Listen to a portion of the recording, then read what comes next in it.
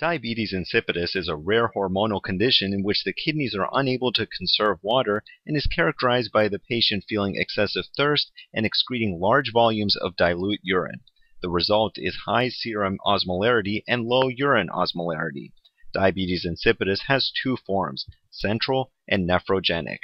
Central DI is associated with a problem with the production of antidiuretic hormone, ADH. Nephrogenic diabetes insipidus is associated with a problem with the kidney's response to ADH.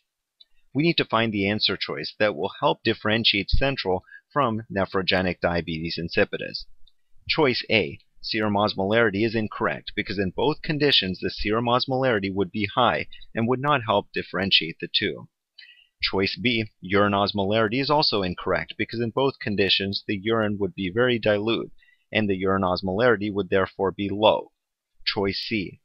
Change in urine osmolarity after water deprivation will also not help differentiate the two conditions because there would be no change in urine osmolarity in both after water deprivation. In normal individuals who undergo water deprivation, we would expect an increase in urine osmolarity as the body compensates by releasing more ADH.